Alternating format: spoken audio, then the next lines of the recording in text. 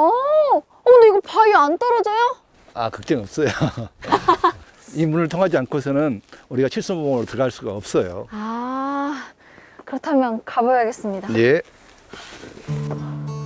와, 또 다른 세상이 펼쳐질 것 같습니다. 이제 새로운 세상이 펼쳐집니다.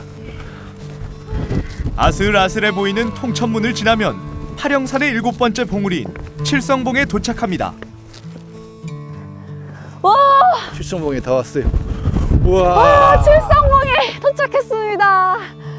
와, 아, 여기가 아무래도 파령산 중에서 가장 높은 봉우리다 보니까 다도해가 한눈에 다 보여요. 아름다운 보석들이 떠 있고 이게 사방에 이렇게 산으로 이렇게 에워싸여 있는 정말 거대한 호수 같은 느낌이 들지 않는 아니신가요? 어, 바다인데 또 산으로 둘러싸여 있어서 호수 같은 느낌도 드네요. 정말 특권이죠. 이게 산에 올라오는 사람만이 볼 수 있는 특권. 공에서 이 비경을 볼 수 있는 최고의 전망대이기도 하죠. 공의 최고의 전망대 덥네요. 마치 거대한 호수 같은 다도해를 눈에 담고 파령산 여덟 봉우리의 마지막 비경인 적치봉으로 향합니다.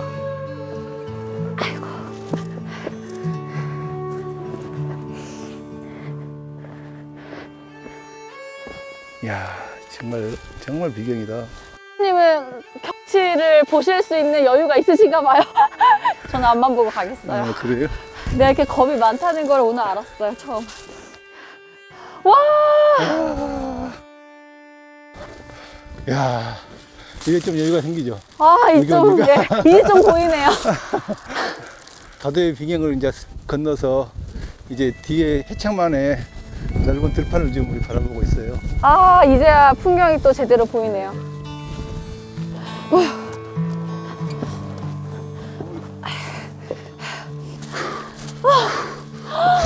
숨을